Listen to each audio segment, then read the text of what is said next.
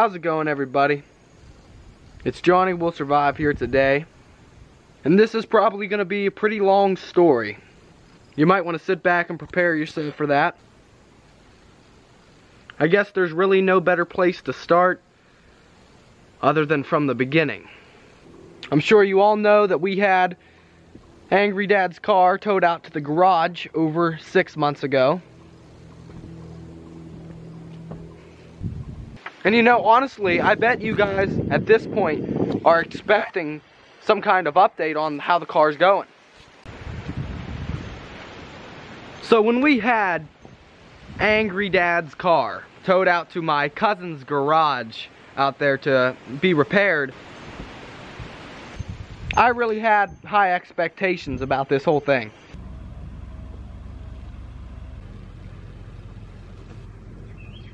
There we go. It's going. You know, about getting the car fixed up and driving my dad's car around and all this stuff. Because, you know, needless to say, when my dad passed away, the car was in need of some major repairs. And, uh, you know, these guys actually happen to own some small car garage over there on Route 422 in Butler. Well, there it is.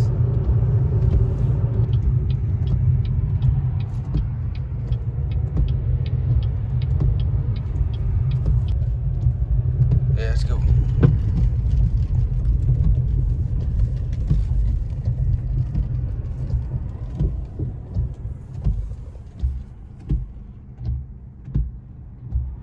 And while my dad was in hospice care, uh, these guys had actually came up once to visit him, and uh, that's whenever we began the conversation on the car.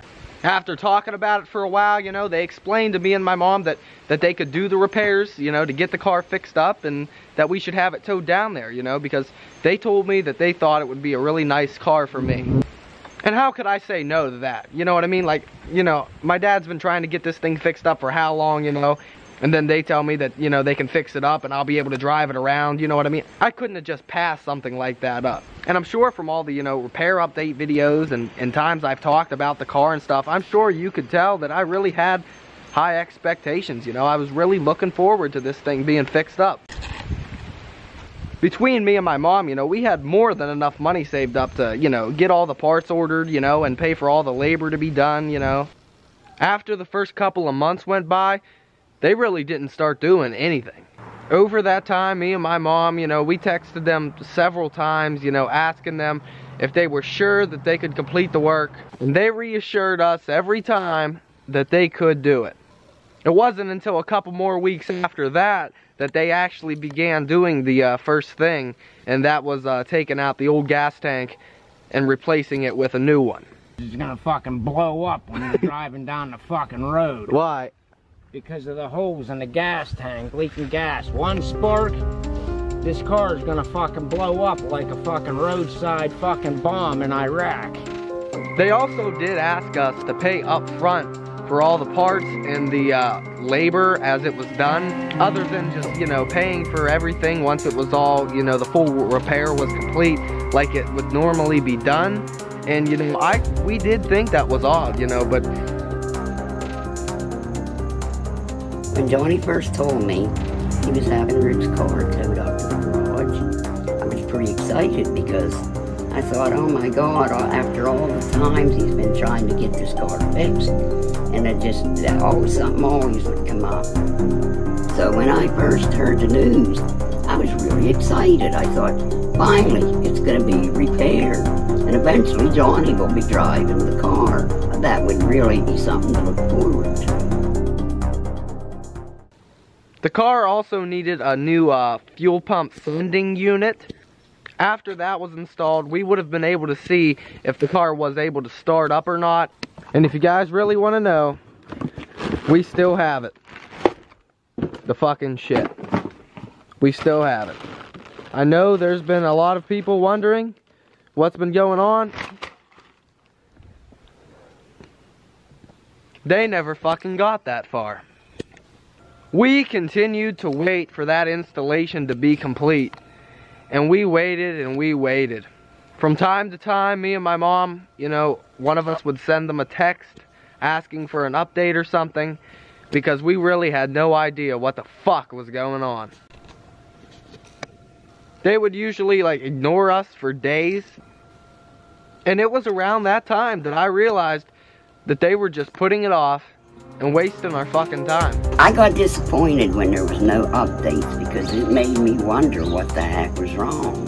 It made me feel bad. I mean, really, say whatever you want now, but they were just wasting our time.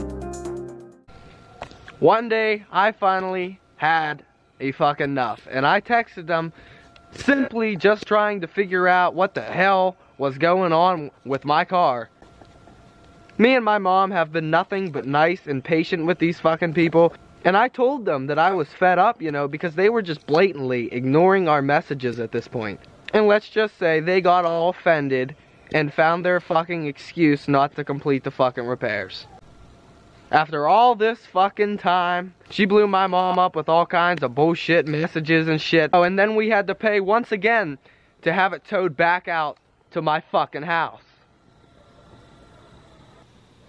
They can make up whatever they want, you know, say whatever makes them feel better about themselves, but when we had this motherfucker towed down there, it could have been repaired. Almost seven months ago. Seven months ago. I just didn't think anything like this would happen. I'm just so sad. I don't know how to feel right now. I was so excited over it to begin with.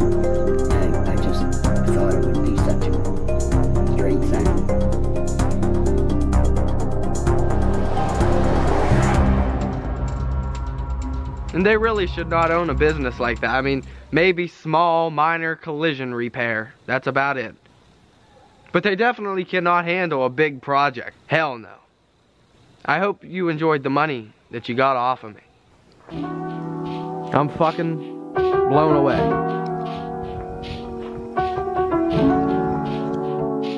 That was fucking one step forward and two steps the fuck back. Someday we can try again.